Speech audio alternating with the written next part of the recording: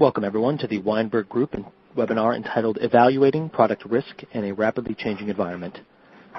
All participant lines will be in a listen-only mode throughout the call. However, if you would like to submit a question or comment to the presenters, click the button marked Ask a Question on your event window and submit your question. All questions will be answered via email within a week of the presentation. To start, I would like to turn the conference over to Joel Falk. Thank you, sir. Please begin. Thank you, and uh, good morning and good afternoon to everybody, and thank you for joining our webinar. Uh, my name is Joel Falk, and I'm very pleased today to introduce today's session uh, entitled Evaluating Product Risk in a Rapidly Changing Environment. This webinar is sponsored by the Weinberg Group, which for the past 29 years has been a highly recognized regulatory and scientific consulting firm serving pharma, biotech, and device clients. Our headquarters are uh, located in Washington, D.C., uh, and we also have an office in San Francisco. Um, our speaker today is Matthew Weinberg, CEO of the Weinberg Group. Um, and since Matthew is my boss and signs my checks, uh, I want to make sure that this introduction does him justice, so um, here goes. Matthew guides all of our strategic issues management client efforts with an emphasis on providing strategic and operational assistance to technically oriented entities in areas such as research and development, regulatory affairs, and quality assurance. Um, recently, uh, Matthew has been instrumental in organizing and growing uh, our GCP practice, which is um, becoming extremely successful in helping companies in reviewing uh, their clinical trial work. Uh, Matthew's assignments have also included strategic development um, uh, of new products, testimony of the man- on the management and economics of scientific enterprises, contract issues, and product development. Um, so, Matthew, how was that? Was that all right? Uh, That'll work. Thank you. Okay, good. Um, during the course of today's webinar, you'll be able to submit questions, Uh, and we will, as you've heard before, try to answer as many of these questions as possible at the end of the webinar. Uh, if we're not able to get to all of your questions, we certainly will get to you uh, by email with all of these answers within a week. Um, and also, I would tell you now that the most commonly asked questions, um, most commonly asked question is, will we be able to receive a copy of the presentation? Um, let me save time for all of you who are going to ask that. Uh, the answer is that everyone registered for this uh, webinar uh, will be sent a copy after the webinar is concluded, and actually, we're posting them on our website as well. For those of you that are interested in some of our past webinars, I would also invite you to visit our website, um, which contains all of these past sessions on a variety of topics. So with that, um, let me turn this over to to Matthew. Thank you, Joel, and thanks for joining us today.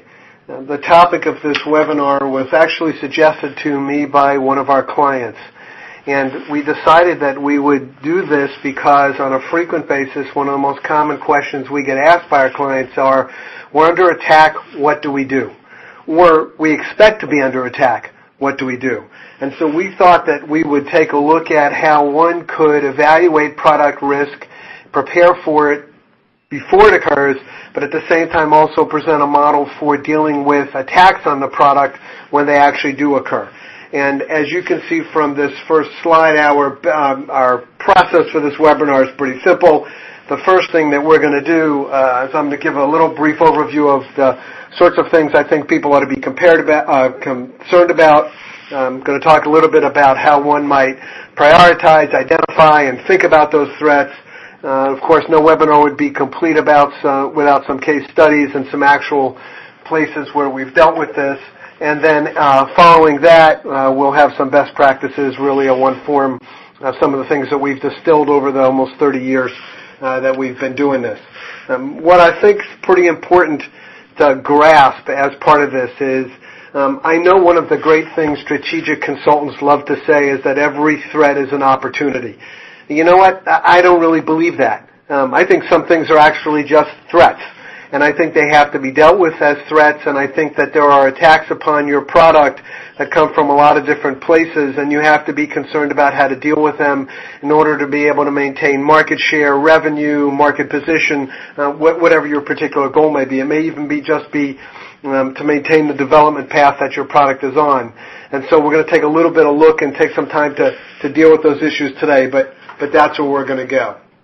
And in that vein, um, let's take a second and consider the landscape that all of our companies face, whether they are the most established company in the world that's been on the market for a couple of hundred years and has a steady stream of products, or you formed it yesterday and you have a brilliant idea for the next anti-cancer agent. Uh, the truth is that there are a whole raft of things out there that are attacks and likely risks to your product. And what I have noticed um, in the in the several multiple decades that I've been doing this uh, is that companies do a very funny thing when they do strategic planning or even development planning. Um, we've all seen the concept of the strength, weakness, sort of opportunities, threats matrix, and everybody fills it out, but then nobody does anything with it. In, in my experience, and I'm being a somewhat general. I'm sure that there are companies who do it, but generally we tend to focus on our product strengths. And if we're lucky, maybe we strengthen a few of the weaknesses. But we don't always take the time to figure out where those threats are going to are going to derail us and maybe plan for those in the future. And where those threats are going to come from are from the things that are highlighted uh, on this page. Um, frequently and, and, more and more often than you would expect, for example, um, you can get your product approved, but you can't get it on the market, um, or you can't get it on the market at the price that you're interested in. Um, and and those are the sorts of things that folks rarely don't think about when they're developing their product. By the same token, your product could have been on the market for five years and all of a sudden some consumer group decides that it has appropriate data with which to attack uh, that. And I, and I point you towards baby shampoo, I point you towards uh, the BPA that was recently uh, uh, removed from baby bottles. There's a whole host of things out there that people point at and say to themselves, I don't like that anymore. And that's a threat that once you're established, you never thought of. So all of this is, is a constantly changing landscape. And a second problem that goes with it is that there's little homogeneity around the globe. And it doesn't matter these days um, where you sell your product, somebody is probably going to be out to get you. Um, and um, we read a story the other day around, um, we, we read a story we, we read we read a uh, we read a story the other day um, around um, a client uh, that's got an issue uh, because somebody in the financial community decided that they wanted to short sell the product and they started to put out bad news about that product. That's kind of an interesting interesting dilemma that you that clients have never really faced before. I think that's something in the past four or five years that that we've seen. And so I think as we look at the environment in which we work, that's something that has to constantly be taken into uh, effect. And so um, this gets back to what I was talking about when when planning, when thinking about the development path, when considering where your product's going to go, you have to figure out which risk matters and which risk matters the most. There are a whole host of these issues. And anybody who runs a business, you know, I, I come to work every day and I always wonder what, what's going to happen to me today. You know, am I going to have Am I going to have today's the day some big client lands in our lap and we have to figure out precisely how we're going to deal with a doubling in our business, which I, you know, would never be against, but is obviously a risk to a business? Or is it the day some client decides that their product failed in phase two and all of a sudden the work we had developing an NDA for them probably isn't going to happen? And so you have to figure out which risks you can balance and which you're going to move about. And so as we move forward, that's, that's where we want to go. And in order to do that, um, I, I think that the, the critical issue there is to be able to break risk um, into its component pieces.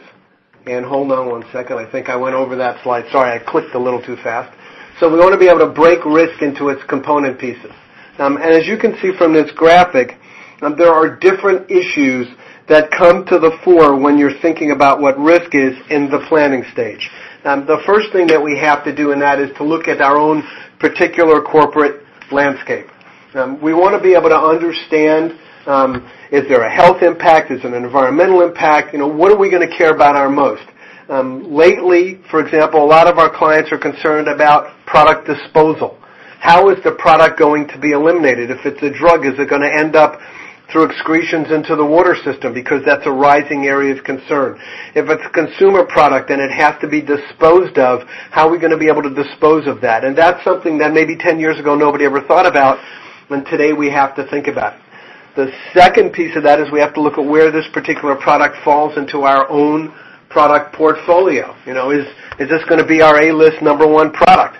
Um, if something happens to this product, do we need to defend it at all costs because it's the main piece of our revenue stream, or it's in the center of the whole picket fence of products that we have? Um, do we need this product um, and we can't afford a significant hit to its price? Um, is there, you know, do we have uh, do we have one supplier who gives us our key main ingredient? And if that supplier comes under attack, what's going to happen to us? And those are the sorts of issues that we face every day. And as we, as we look at those in planning, we have to bring them down and begin to prioritize those risk factors. Now as you look at this map, I want you to think about looking at it slightly differently. At least this is our perspective. And I want you to, instead of doing the normal strategic things that people put in here, I want you to think about how you might put science in on top of this because I think an, a missing link in traditional strategic planning and the traditional way people forget about this is the actual scientific attributes of the product. One of the things that we've discovered in, in the Weinberg Group's history is that we can make a case for our clients' products based on the science that underlies that product. And I think more and more we sometimes talk our way through this stuff without necessarily letting the data do the talking for us. And that's a pretty big deal. So um, as you look at this, I'd like to go back to the evaluate the corporate landscape and begin to think about, for example, how our science risk map would overlie this. What are the attributes of our product? What, is, what is its impact on human health? What's its impact on the environment? And, and I know that companies don't always look at this, and I think that's a mistake.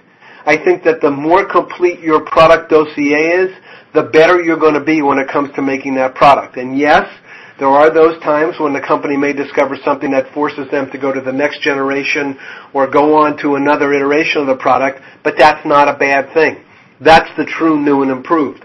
At the same time, you may discover things about your product that strengthen your market position, and that's a very advantageous thing. So instead of just sort of talking through this, I think you have to let the data settle into these different pieces. Same with the evaluate corporate position, please if you're looking at your product portfolio and you understand the scientific nuances of your product, you know, what is its efficacy? What does it do? How strong is it? How well is the statistical data and what are we relying upon when we went for approval? It allows you to determine if you can have analogs to this product, whether you can use its own metabolites, whether there is other things you can build around it. And I'm not sure that companies, at least in my experience, do this as continually as they have to. And so that's sort of my little piece on planning. Um, and I actually think that planning around risk is an interesting concept. You can do it, and you can put in those plans, and you can think of what's going to happen when things happen. But the truth is that what you really need to do is to focus on what happens when you really are at risk.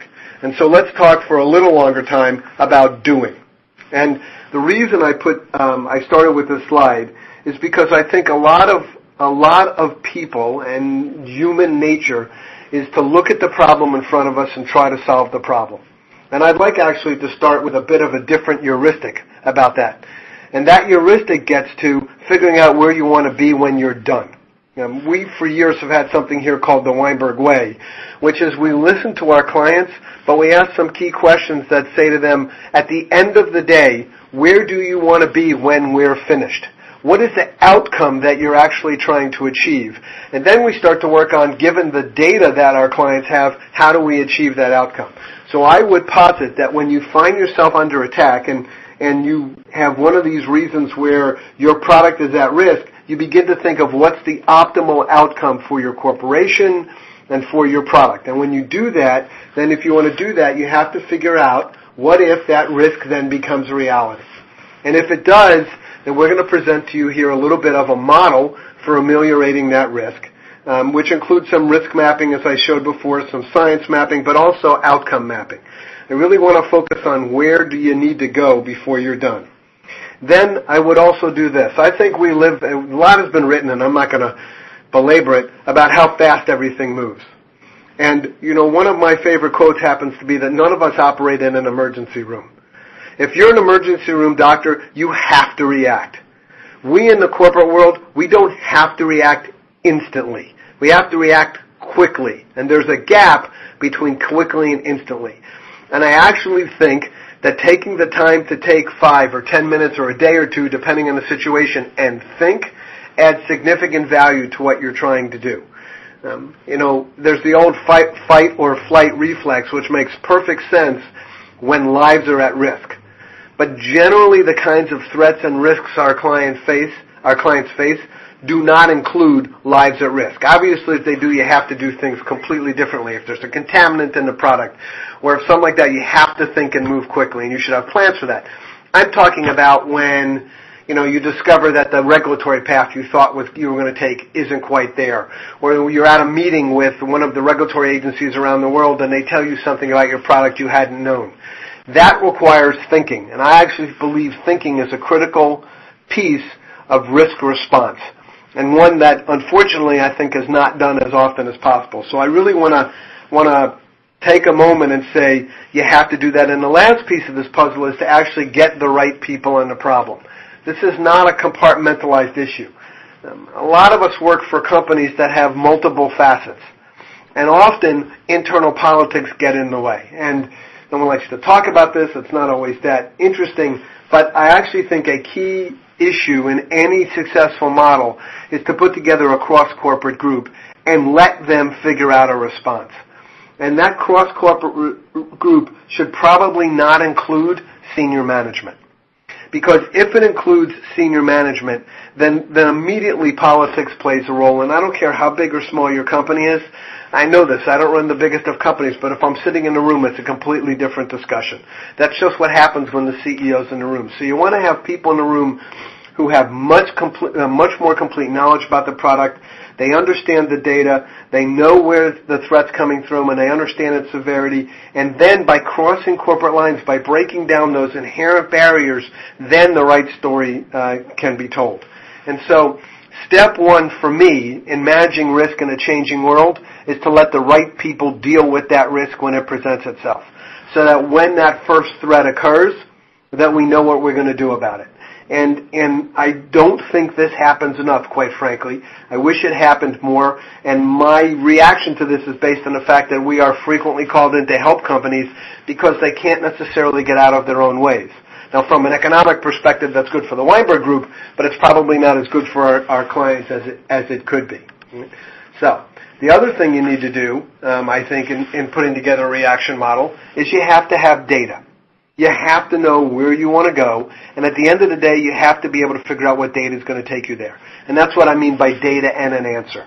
You got to know what you have. You have to know where it's going to take you. Um, what kind of data has to start with where's the threat coming from, and that's where a little of the thinking comes in. You know, it may be, and I think a lot of times we react to a threat the same way we do a symptom on uh, a physiological symptom. So it may be um, that you know the, the blemish on your arm is a blemish. On the other hand, it could be the whorls from a uh, from a tick if you've been out in the woods. But you have to understand the difference between the two.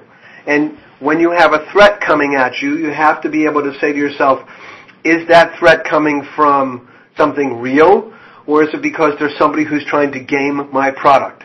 Going back to the issue I mentioned before, where we knew that in a particular case a short seller was trying to engage a product um, so that they could actually derail its regulatory path, thereby enabling them to profit in the financial markets.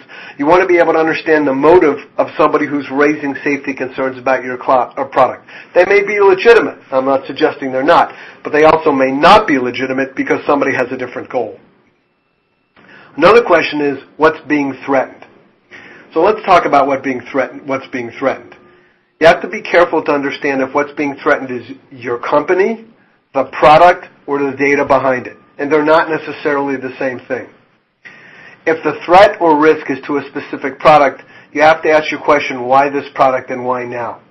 Is it being used as a showcase because it happens to be a big popular product and everybody wants to make noise about its ingredients because it helps those organizations gender publicity and possibly revenue?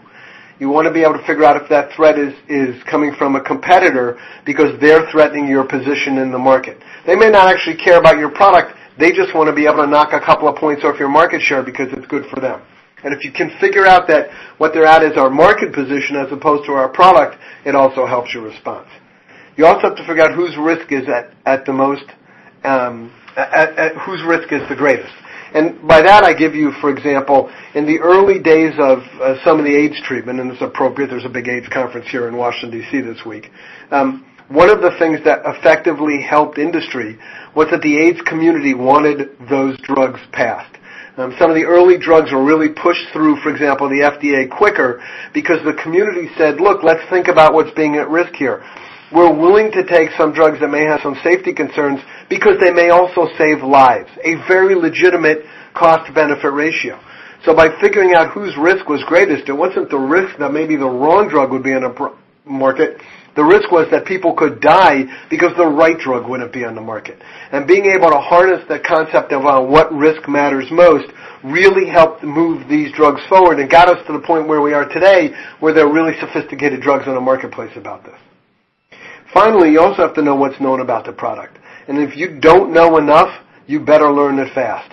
Um, it is stunning to me the um, numbers of times our clients say to us, we don't have as complete a dossier as we should.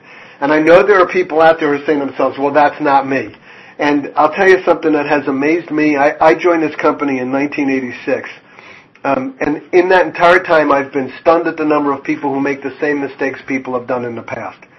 I would really ask yourselves the question, what do we know about our products? Do, do we have a complete dossier? Have we done the right data? Do we really understand the physiological impact of the products that we do up to the current state of the science? If you do, great. If you don't, I think it's time to develop some data. Because I promise you somebody else is doing it if your product is significant enough. Now, is that true for every product? No. You know, if you make some small product that, that is uh, used by an orphan community or, or it's an add-on to something else, maybe it's not worth it. But, but many times if it's a significant product in our market, somebody's looking at it besides you. And they're looking at it either because they want to take your market position or because they see it as a threat or because they're worried on what's going to do. There's an awful lot of researchers out there with a lot of time who are taking products apart and breaking them down so they can figure out what they do. Um, and, and I think that's important, and I've, I've harped repetitively on the company's goal, but I think you can't answer that if you don't know the answer to this. Right? Um, another thing, and I think that this is something that happens to many of our clients when they're under attack, is they forgot what got them to the market in the first place. Most of us, and I'd say virtually everybody of the multiple hundreds of people on this call, um, work for scientifically based companies. Yet when we're under attack or there's a risk to our product, we forget that it's the science that got us there. It's the science that put us in the market. And if you read your own mission statements, typically your mission statements say something like, we're going to build off the inherent science knowledge in our company.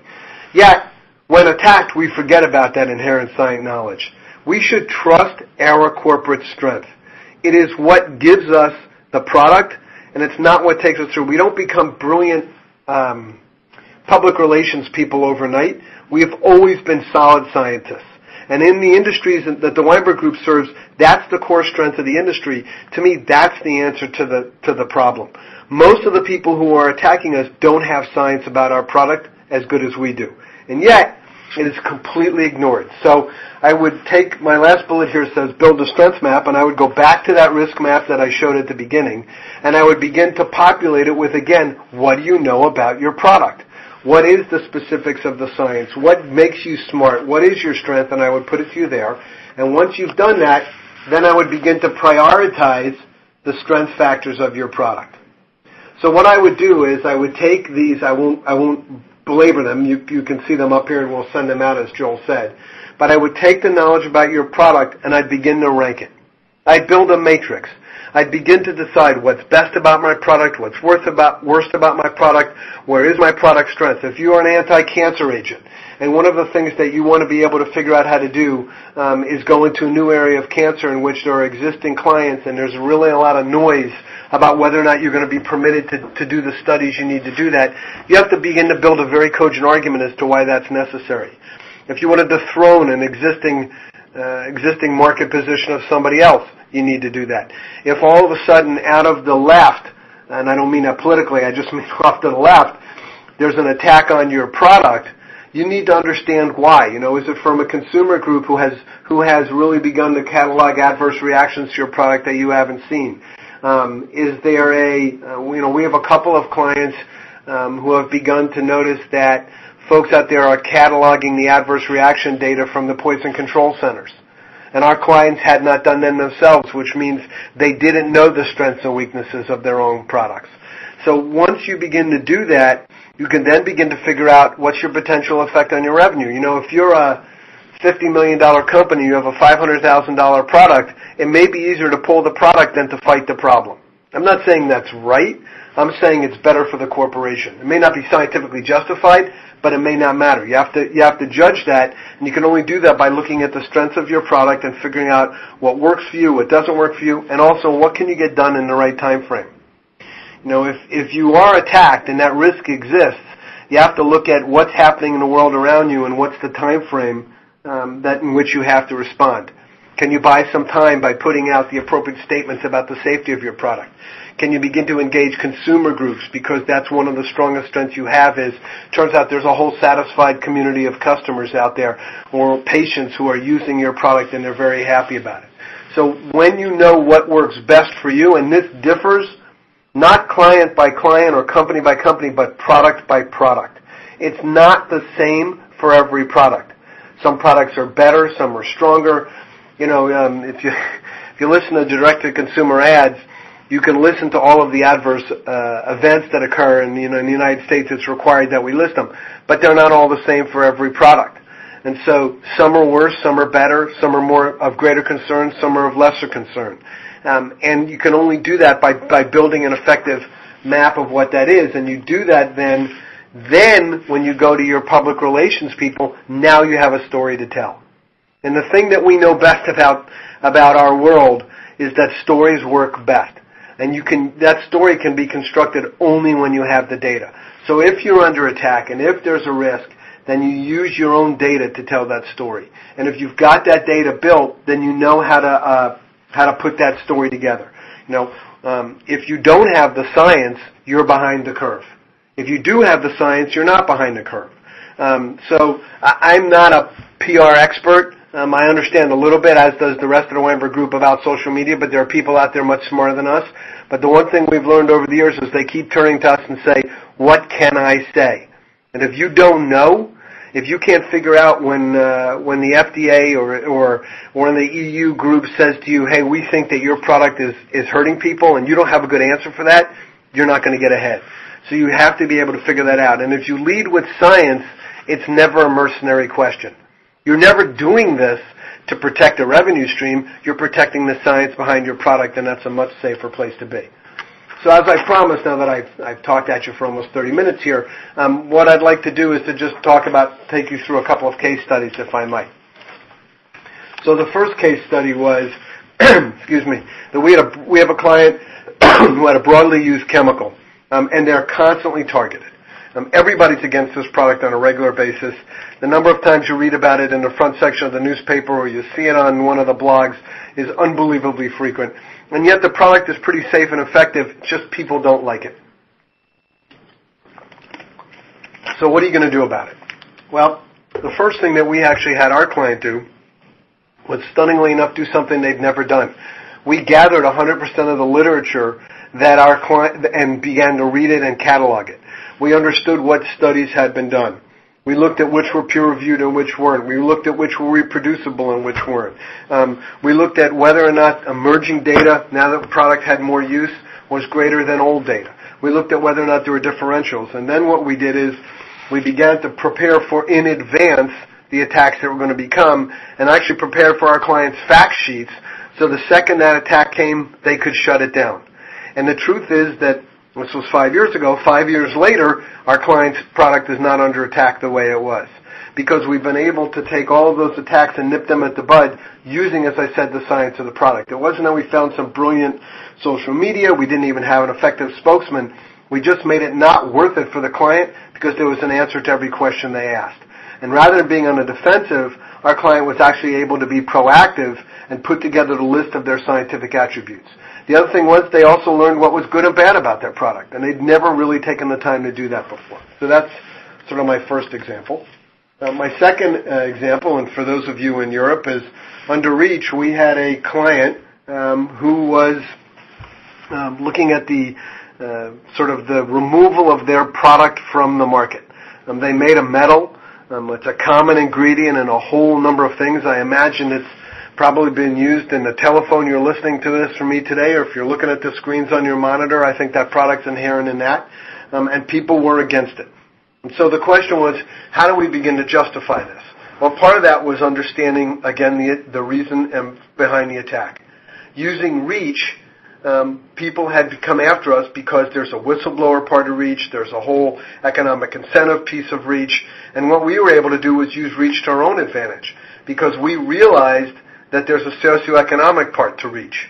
And so we could demonstrate, for example, that if this metal were no longer in use, there was a massive socioeconomic impact that would be felt. There would be whole production entities that would have to be retooled. The cost of not uh, the cost of not using it turned out to be the greater the cost of of using it, and the science behind the product was pretty sound. It was hard to argue and demonstrate that the toxicity was what the other side said it was.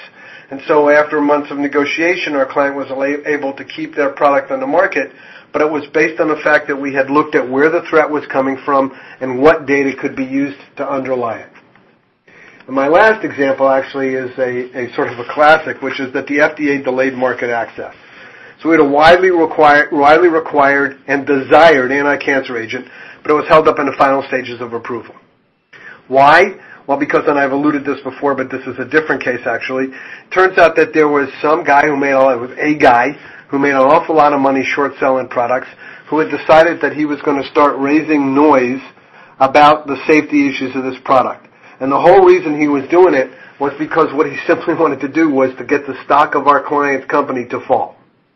And once he figured out how to do that, he could short sell the product. And while this may not be legal, it's pretty hard to prove all of the time. But I think that it, it, it happens, and we actually know that happens because we've had more than one company attempt to hire us to do this. It's of course not something that we would do, um, but we know that it exists. Well, the trick here was to begin to publish the efficacy data.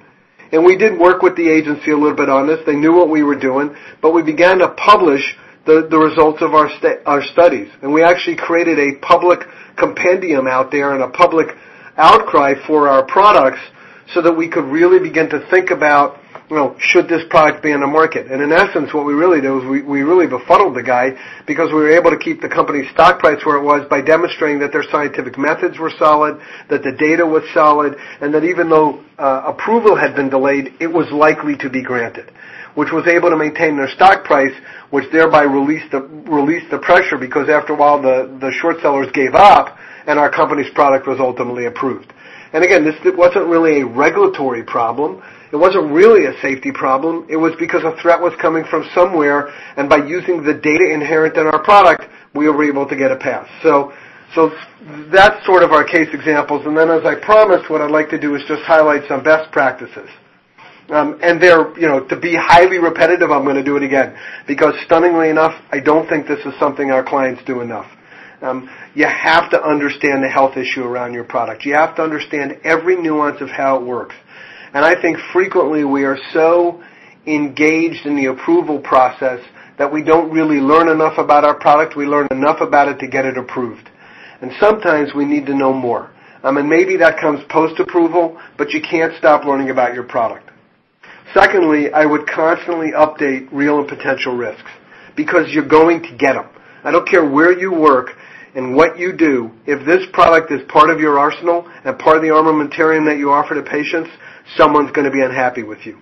We work with products that create physiological impact. And those products therefore are not always going to create the physiological impact that we desire. And given that that's the case, we ought to be account for the fact that sometimes there's going to be outcomes we didn't anticipate. We have to be ready for that. It's the whole reason we have pharmacovigilance. The whole reason we do this analysis is the question is we have it, what do we do about it? And only by being prepared will be we ready for it. Know your product's life cycle. As you're getting closer to the end, it's time to think about the next product. Think about where the analogs, metabolites, Think about what it does in the human body. You know, what happens to it as it's excreted? How do people dispose of it? If the containers are problematic, how are they disposed of? Because today, all of those issues matter. And if you haven't built a risk and scientific map for both of those, you're going to have problems. Um, and finally, without, when I said we'll send this out, um, the best approach for your company is to find that one which integrates public policy, the science, and the legal elements together. We no longer live in a world in which the science, I believe it's the strength, but it isn't enough. We have to figure out how to take all of this together and package it in a way that lets us put together a comprehensive picture for our clients. That's why I went all the way back, if you remember, I said empower the cross-company groups. If you don't do that, then nothing's going to get done. If marketing can't talk effectively to regulatory to R&D in a, in a problem-solving risk amelioration mode, then the silos go up and, and you discover afterwards that, you know, you had data you didn't know about. So you have to constantly be figuring out how to put that picture together, which enables you then to, uh, uh, to, to put forth an appropriate response. So I know there are some questions and I'll be happy to take them, but that's my picture of how you evaluate and deal with risk is to essentially put together a comprehensive body of knowledge and use that knowledge to your best advantage. And with that, I, I thank you, and I'll answer the questions I know are out there. Joel, I think you have you have to read them to me. Yeah, no, that that's fine. Thank you, Matthew. That was that was actually very good and very informative. Um, we do have a couple of questions, and again, if we don't get to a specific question, uh, we'll certainly get back to you by email as soon as we possibly can. Um, I've gone through a couple of these questions, and I've actually whittled them down to about three. Um, and let me see if I can I can organize these. Um, Matthew, one of the first question I have here um, is uh, a statement uh, that I agree with that the challenges of moving products forward uh, include things like new government rules and guidances, um, but my company has never faced a challenge from an NGO. Um, could you expand a bit on that aspect and what kinds of products hit the radar of the NGO, and how would we or could we prepare for that? Well, first of all, let me say this. Lucky you. Um, and I hope it stays that way. Uh, so whoever sent that in, uh, let's hope that never happens. Um, I think the kinds of products that hit the surface of NGOs, and, and I and let me start with I'll start with this. I absolutely have a bias. Um, I think a lot of NGOs are in this for their own revenue streams like we are. It's not to say that they don't have good aims. It's not to say they don't have good goals, but they look for high profile products. They look for products at which making noise about those products will raise their own profiles. Now clearly there are a lot of products that we have out there that are not necessarily great for the environment or may have adverse effects. Um, I think if you're under attack by an NGO, take a step back and figure out what it is they're really after. Are they after a bigger global stage and there's some ingredient that you can substitute for in your product? And if you can't substitute it, then the best thing to do, I actually think, is to begin entering negotiations with them. Figure out how to work something out. You know, if they're dead set at getting your product off the market, they can always make more noise than you can. And it's much harder for you to stop them. I won't say that it won't take forever, but if you look at the case, for example, of BPA in the United States, a product that to this day there's limited data that indicate that it's harmful, and yet you can't find it in a whole raft of products because a bunch of people made noise getting it to getting um, companies to remove it, and companies removed it because it just was easier to do. And maybe sometimes that's your response. The other side is if your if your ingredient is necessary, then I'd start talking to the NGOs to figure out what you can do. And the earlier you can get them to stop making loud noise, the better off you are. Okay, great. Thanks. Um, the second question that I have is, my company could spend a lot of time preparing for what eventually could be a non-event. Is there some way that we can determine ahead of time what kind of threats we could suffer what kinds of resources and information we would need, and whether or not we would need to be prepared before the potential event, or it might be able to wait until we actually see the, the threat more clearly. I guess that's just a question of being proactive or reactive. Um, so here's my answer: is I think you can be constructively proactive without spending an awful lot of time. I think the question is perfectly, you know, as they all are, makes perfect sense. You don't want to spend a lot of time preparing for something that's never going to happen. Um, on the other hand, sometimes after you're attacked, you don't have time. So I think the things that you do in advance are to build a a dossier of what you know about your product in advance. So that you, the more time that you can necessarily spend prepping yourself about you know what you what you know about your product, that's useful. That helps you when the attack comes, and therefore it's something that you should do anyway, which will then enable you to do. Maybe you don't have to know the attack strategies because the attack will never come. But if you don't know about your product, you'll never be able to come up with it afterwards, and once momentum is lost, it's really hard to regain it. Okay. And finally, the, the last question I have um, is a is a very interesting one. Uh, in the past, my company was involved in a massive recall of a popular drug product. The internal company strategies to protect the product never included the argument that the product had been reviewed and approved by the FDA.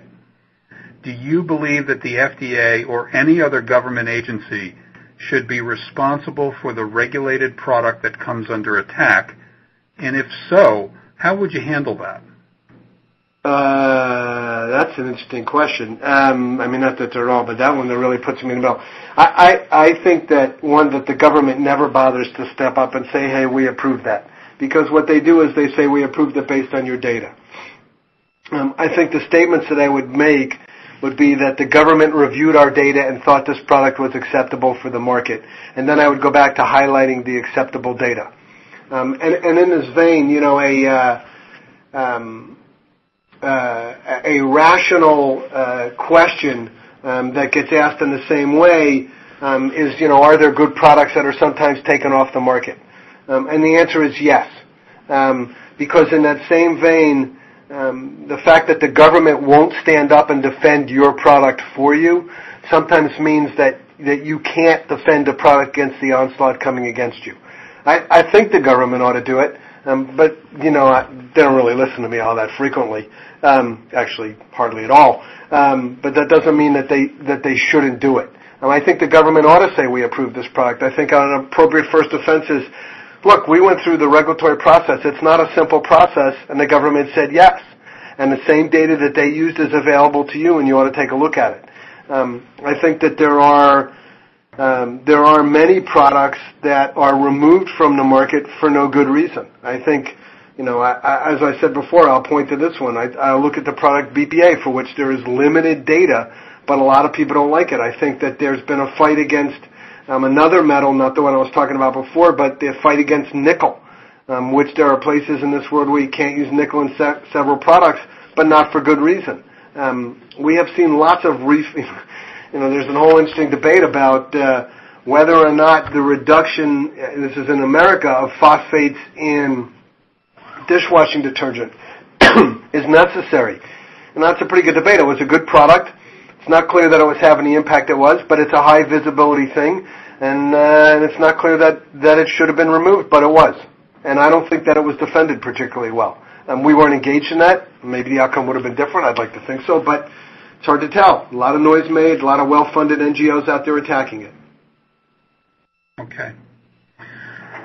Okay, well, um, I, I, think that wraps up um, our time and uh, the, the, questions. Um, if we have any additional questions that come in, we, we certainly will get back to you.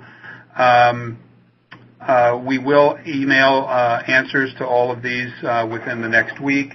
Um, I would also tell you, and there was one other question about a voiceover copy of the presentation, and that too is on our our website. Um, so with that, I would like to thank everybody again for for joining us. I hope the webinar was helpful. Uh, I thought it was extremely interesting. Um, and uh, that's about it for today. Have uh, a great day, and uh, please join us for our next webinar. Thank you. This concludes the presentation. Before you log off, we would very much appreciate if you could please take a moment to complete a short evaluation form. Thank you for your participation.